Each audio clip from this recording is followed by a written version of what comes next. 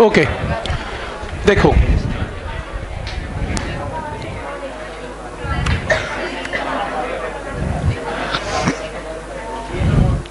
तो अभी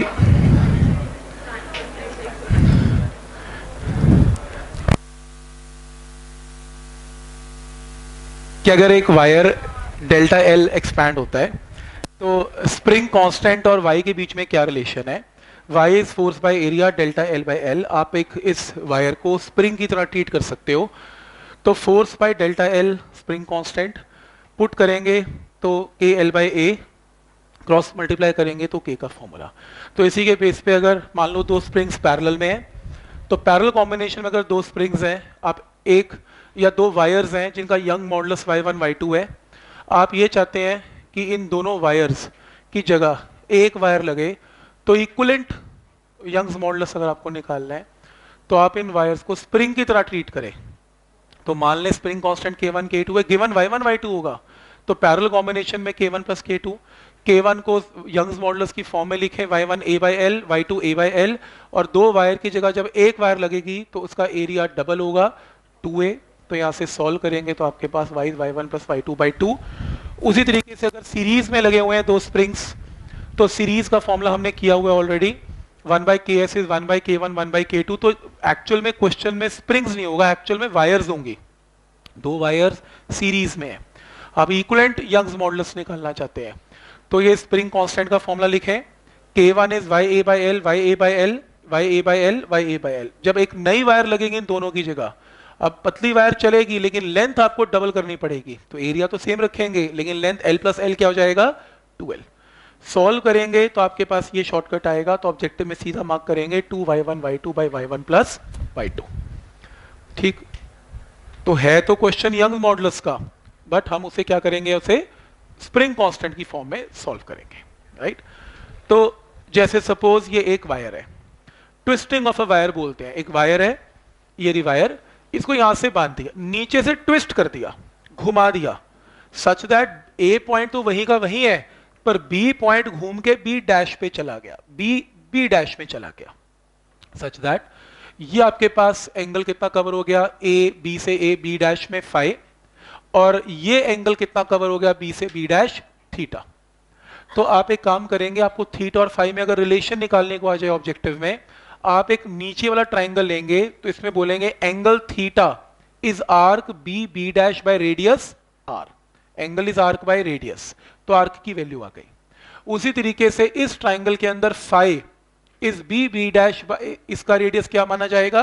एल तो एक नीचे वाला triangle angle is arc by radius एक ये वाला triangle angle is arc by radius तो यहाँ से arc B B dash B B dash दो तरीके से आ गया। दोनों को इक्वेट कर लेते हैं थीटा और फाइव का रिलेशन आएगा। एज सच ये कोई प्रूफ नहीं है। एक ऑब्जेक्टिव क्वेश्चन हो सकता है आपको, मिल जाए ऑब्जेक्टिव क्वेश्चन है। तो उसमें थीटा और फाइव का रिलेशन मार्क करना था, मैंने थ्योरी की फॉर्म में लिख दिया। तो याद नहीं करना। मतलब ये ट्रिक है कि angle is arc by radius से आप इनको इक्वेट करके एंगल्स के बीच में रिलेशन निकाल सकते हो राइट अब जैसे ये नहीं करना, आपने टॉर्शन और ये कोई बुक्स में गिवन है, मैं हटाना भूल गया, इसके ऊपर कुछ नहीं आता, इसको प्लीज़ क्रॉस कर लें। ये नहीं पढ़ के जाना आपने। ये क्वेश्चन कम से कम नीट में दो तीन बार तो मैंने देखा आता हुआ। और मेंस में भी मैंने इसको एक दो बार देखा। ये इंपॉर्टेंट क्वेश्चन है।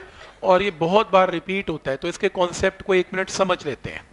देखो देखो, आगे देखो। सबसे पहले इस क्वेश्चन को स्टार्ट करने से पहले एक काम करेंगे कि एक टॉपिक है जिसको बोलते हैं थर्मल एक्सपेंशन थर्मल एक्सपेंशन ये एक चैप्टर आएगा रादर थर्मोडाइनमिक्स में। थर्मल एक्सपेंशन में ये पढ़ाया जाता है कि कोई भी चीज़ कोई भी अगर सॉलिड है या लिक्विड है, उसको अगर हीट करें तो उसका वॉल्यूम हमेशा एक्सपैंड होता है। ये वॉल्यूम क्या? वो चीज़ें एक्सपैंड होती हैं। एक्सपेंशन तीन तरीके से होती है। या तो लेंथ वाइज होती है या एरिया वाइज होती है या फिर वॉल्यूम वाइज होती है। जैसे लेंथ मतलब जैसे अगर आपके पास एक वायर है, बहुत पतली वायर है ऑफ़ लेंथ एल आपने इसका टेम्परेचर बढ़ाया, इसकी लेंथ लंबी हो गई। आपके पास एक डिस्क है एरिया ए थिकनेस नहीं है। आपने गर्म किया डिस्क का एरिया बढ़ गया।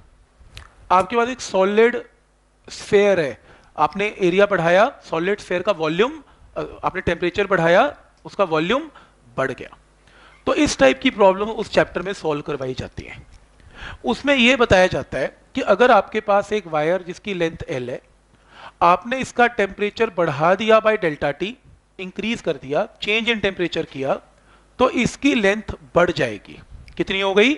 एल डैश तो इंक्रीज इन लेंथ कितनी हो गई? एल डैश माइनस एल जिसको क्या लिखा जाता है? डेल्टा एल तो ये ऑब्ज़र्व किया गया है कि delta L is proportional to L and is proportional to change in temperature तो डेल्टा एल की वैल्यू लेंथ के साथ प्रपोर्शनल है ओरिजिनल लेंथ पे डिपेंड करेगी और राइज इन टेम्परेचर पे भी डिपेंड करेगी। देखो, ये तो मैं मानता हूँ कि जितना ज़्यादा इंक्रीज इन टेम्परेचर होगा लेंथ भी उतनी ज़्यादा बढ़ेगी लॉजिक है।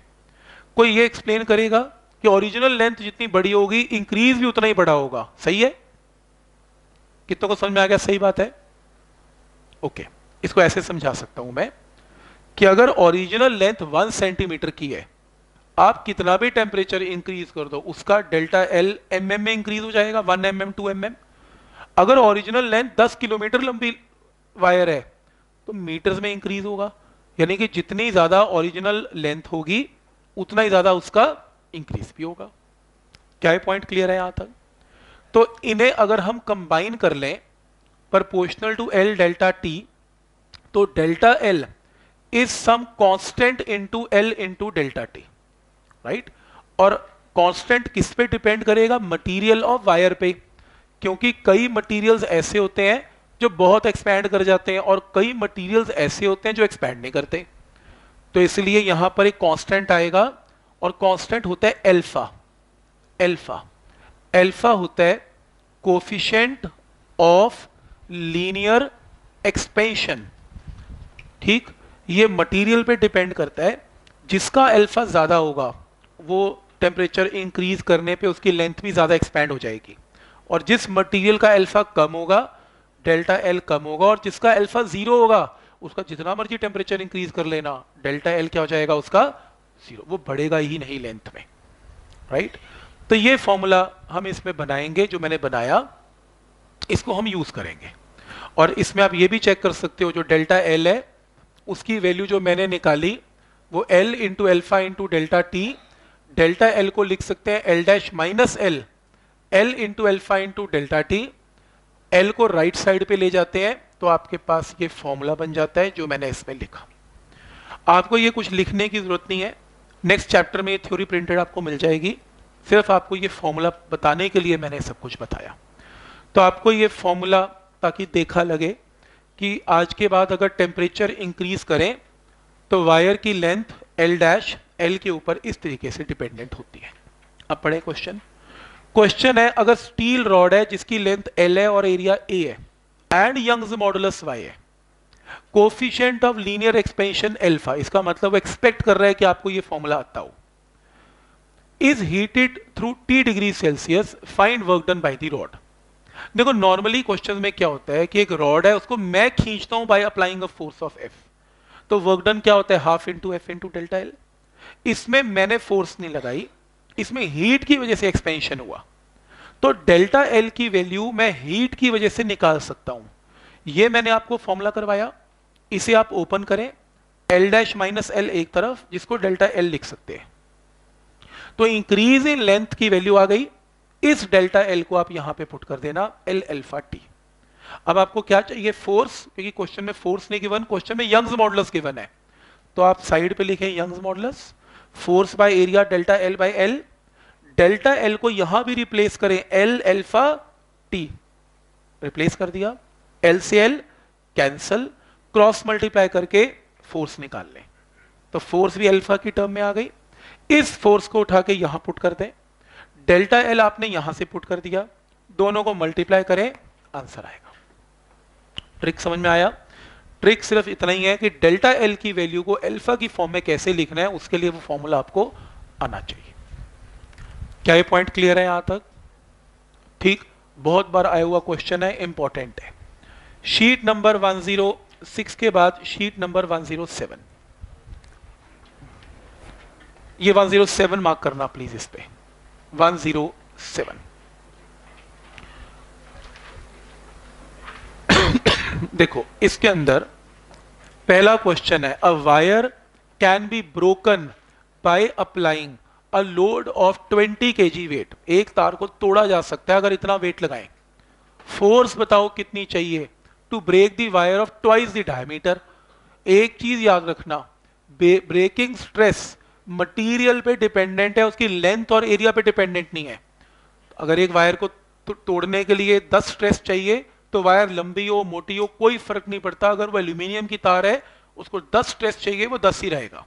तो इसलिए क्या बोला जाता है? ब्रेकिंग स्ट्रेस तोड़ने का स्ट्रेस क्या रहता है? सेम तो पहले फोर्स F1 अप्लाई की और एरिया A1 था और फिर बाद में फोर्स बतानी है, जब एरिया कितने टाइम हो गया? फोर टाइम्स हो गया. तो स्ट्रेस क्या होता है? फोर्स बाय एरिया तो ब्रेकिंग स्ट्रेस सेम है तो स्ट्रेस को इक्वेट कर दिया. फोर्स निकालनी है सेकेंड केस में. पहले केस में फोर्स पता है?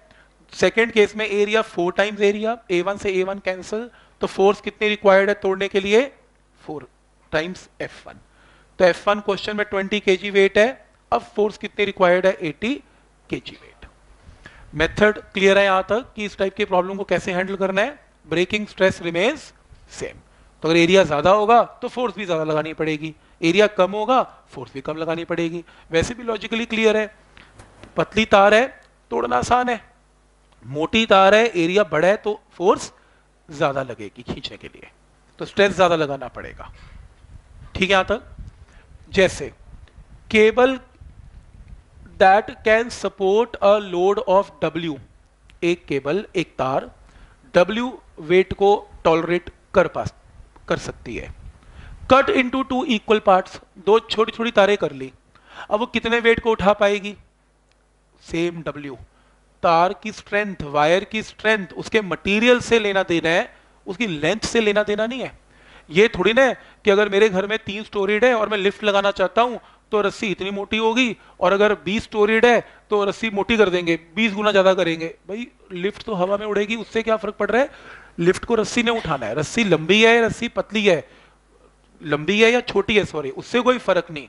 उसकी जो जो, उसकी जो वेइंग कैपेसिटी है, वो अगर डब्ल्यू है तो डब्ल्यू रहेगी, चाहे दस मीटर तार से लिफ्ट को उठा लो, चाहे बीस मीटर तार को उठा लो। ये थोड़ी ना कि आपने तो तीन मंजिली बनानी है तो पतली तार ले लो, कोई बात नहीं। और अगर ज़्यादा मंजिली उठाए, मोटी तार लो।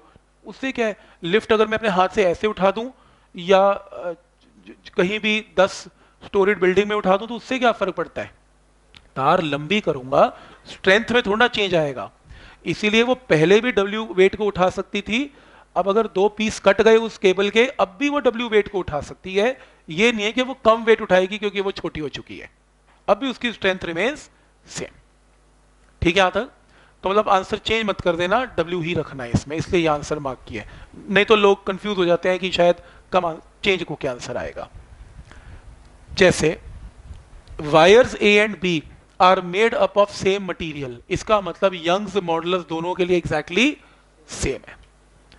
A has twice diameter obviously तो रेडियस भी ट्वाइस होगा बी से and three time length of B A की length three times length of B if elastic limit is not reached मतलब अभी इलास्टिक लिमिट है, when each wire is stretched by same tension same tension का मतलब force की value भी दोनों की सेम है।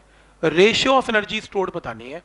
अब एनर्जी स्टोर्ड का मतलब वर्क डन वर्क डन पर यूनिट वॉल्यूम का फॉर्मूला करवाया था half into stress square by Y तो वर्क डन वॉल्यूम राइट पे चला गया तो वर्क डन की वैल्यू आ गई। अब एक बार वायर नंबर ए लेंगे स्ट्रेस की जगह क्या पुट करेंगे? Force by area A wire का। यंग्स मॉडुलस तो चेंज ही नहीं हो रहा, खैर वाई ए वॉल्यूम क्या होता है? सेंट्रिकल वायर का। Area pi r square into length L first wire के लिए, फिर सेकेंड वायर के लिए, दोनों को डिवाइड करेंगे। वाई सेम है फोर्स सेम है रेडियस और लेंथ की रेशियो गिवन है सॉल्व करके वर्क डन या एनर्जी की रेशियो आएगी। मेथड समझ में आ रहा है हाउ टू अप्लाई फॉर्मूला इसका प्रूफ बहुत लंबा है जो मैं बताने जा रहा हूँ। ये तो एक्स्ट्रा क्लास एडवांस में ही चलेगा, लेकिन अभी एक शॉर्टकट है जो ये मेंस में और नीट में दोनों में आया हुआ क्वेश्चन है। उन्होंने क्या किया? एक वायर ले ली। नॉर्मली सेंड्रिकल वायर में इधर से और इधर से एरिया होता है same pi r square pi r square वो कहते हैं ये एक टेपर्ड वायर है कॉनिकल वायर है। इधर से तो area pi r one square इधर से area pi r two square और क्वेश्चन में ये कह दिया कि F4 से हम इन्हें खींच रहे हैं लेंथ इसकी L है तो बताओ इसमें एक्सटेंशन प्रोड्यूस कितनी है? डेल्टा एल बताओ। तो मैंने यंग मॉडल्स लगाया force by area delta L by L मुझे डेल्टा एल निकालना था। प्रॉब्लम एक थी। लेंथ मुझे पता है। प्रॉब्लम एरिया की है। मैं यहाँ पर यह कंफ्यूज हूँ कि एरिया पाए आर वन स्क्वायर लें या पाए आर टू स्क्वायर लें। अगर बराबर एरिया होता फिर तो क्लियर था pi r square answer area unequal है। तो शॉर्टकट लिखे यहाँ पे। शॉर्टकट ये है। Area under root of A one A two geometric mean लेना होता है। लेफ़्ट और राइट के एरिया का अगर अनइक्वल एरिया है तो pi r one square pi r two square यानी कि pi into r one r two तो आप एरिया की जगह क्या पुट करेंगे? Pi r one r two यहाँ से डेल्टा एल आएगा। अब आपको इस शॉर्टकट में यह नहीं पता लगेगा कि ऐसा मैंने किया क्यों। इसका प्रूफ के लिए फिर एक्स्ट्रा क्लास में कराएँगे, कभी जब आएगी इसकी बारी प्रॉपर्टीज़ की उसमें प्रूफ आएगा भाई इंटीग्रेशन ऐसा क्यों करते हैं। पर वो प्रूफ लंबा है, आप ऑब्जेक्टिव में कर ही नहीं पाएँगे इतना लंबा प्रूफ तो बेटर है कि ये शॉर्टकट अच्छा है। कम से कम क्वेश्चन तो ठीक करें टेपर्ड वायर का तो शॉर्टकट लगाएँगे और सीधा ऑब्जेक्टिव सॉल्व हो जाएगा। क्लियर है यहाँ तक? पर मैंने इसका प्रूफ नहीं बताया ऐसा क्यों होता है। सपोज़ एक वायर है, ठीक एक वायर है और एक मास एम है, छोटा मास एम है। कॉनिकल पेंडुलम याद है? गोल गोल घुमाते थे। तो इस वायर का मास स्मॉल एम है और सर्कल में घुमाया जा रहा है ऑफ़ रेडियस स्मॉल आर ठीक है? पत्थर घूम रहा है। आपको cross section radius of wire capital R given है। ये वायर है क्रॉस सेक्शन का मतलब ये वाला रेडियस कैपिटल आर है। तो आपको बताना है इसमें डेल्टा एल की वैल्यू क्या होगी? अब मैं फिर से यंग मॉडल्स लगाऊँगा, डेल्टा एल एक तरफ़, बाकी टर्म एक तरफ़ फोर्स की जगह क्या पुट करूँगा? टेंशन क्योंकि रस्सी में क्या जाएगी? टेंशन कॉनिकल पेंडलम बताया था सर्कुलर मोशन तो फोर्स इसमें टेंशन है टी के दो कंपोनेंट्स है T cos theta T sine theta तो T cos theta will be equal to M तो यहाँ से टी आ गया. टेंशन चाहिए होगी. तो टी आ गया, और एल तो आपको length of the string L given ही है. एरिया में पाई बड़ा आर स्क्वायर छोटा मत पुट कर देना ये वाला एरिया क्योंकि एरिया क्या लेते हैं? वायर का cross sectional area cross sectional radius capital R है तो pi capital R square answer बस इसमें यही ट्रिक है कि एरिया में ट्रिक है, लोग पाई छोटा आर स्क्वायर यूज़ कर देते हैं, जबकि वायर का क्रॉस सेक्शनल एरिया यूज़ करना होता है. क्या पॉइंट क्लियर है? और इसके बाद दो चीज़ें और हैं सिर्फ़. उसके बाद इसको क्लोज करते हैं. उनमें से पहली चीज़ ये कि अगर length of the wire L1 है, ठीक L1 है तो टेंशन वायर में T1 है है ना? तो अगर लेंथ L1 है टेंशन T1 है लेंथ अगर मैं खींच के L2 कर दूँ तो टेंशन T2 है तो बताओ ओरिजिनल लेंथ कितनी है इस वायर की? क्योंकि टेंशन है तो लेंथ ऑब्वियसली बड़ी हुई मिलेगी आपको। एक चीज़ कभी चेंज नहीं होगी, और वो क्या है? यंग्स क्योंकि मटेरियल जब तक चेंज नहीं होगा वाई चेंज नहीं होगा। तो एक काम करते हैं, हम यंग्स मॉडल्स लगाते हैं।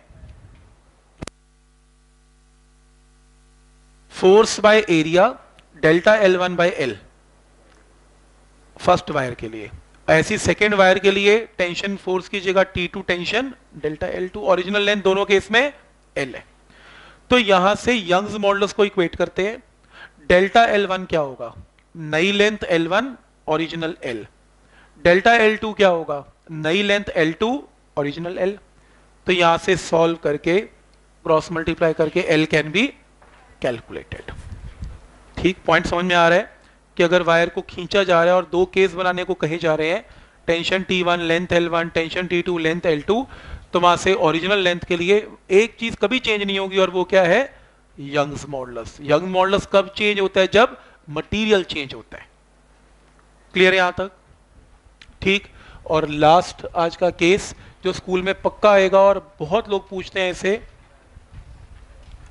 ये रहा। Which is more elastic steel की रबर बोलो। रबर सारों का गलत हो जाएगा रबर में। स्टील और टीचर पूछेगा, इतना तो नहीं है ना कि कुछ तो पूछेगा ही तो सोचना चाहिए। स्टील ज़्यादा इलास्टिक है। आपको कैसे? रबर बैंड तो ज़्यादा एक्सपैंड हो जाता है। देखो कैसे। तो ये लिख के आना है। क्या? Steel is more elastic than rubber Young's modulus क्योंकि reason Young's modulus of steel is greater than Young's modulus for rubber जितना हाई यंग्स मॉडुलस होगा, उतना सब्सटेंस इलास्टिक होगा। जितना कम होगा, उतना ही कम इलास्टिक होगा। अब क्वेश्चन ये अराइज होता है कि यंग मॉडुलस रबर का कम क्यों होता है? जबकि सुनने में तो इलास्टिसिटी ज़्यादा लगती है। उसका प्रूफ भी लिख के आना है। देखो क्या। Young's modulus is force area L and delta L मान लो आपने एक स्टील की वायर ली और एक रबर की वायर ली। जिनका, जिन पे आपने सेम फोर्स लगाई खींचने के लिए लेंथ उनकी सेम थी एरिया क्रॉस सेक्शन सेम था। तो Young's modulus inversely proportional to क्या होगा? डेल्टा एल बताओ जब दो वायर्स लेंगे स्टील और रबर कौन ज़्यादा लंबा हो जाएगा? रबर डेल्टा एल किसका बड़ा होगा? रबर। तो वाई किसका छोटा तो वाई रबर का क्या हो जाएगा? ये लिखा मैंने भी वाई छोटा है। क्योंकि डेल्टा एल कम होगा स्टील का तो वाई स्टील का ज़्यादा, और अगर स्टील का वाई ज़्यादा तो स्टील इज़ मोर इलास्टिक। क्या ये पॉइंट क्लियर है? ये लिख के आना है आपने। देखने में नहीं बोलना, देखने में रबर लगती है। मैथमेटिकली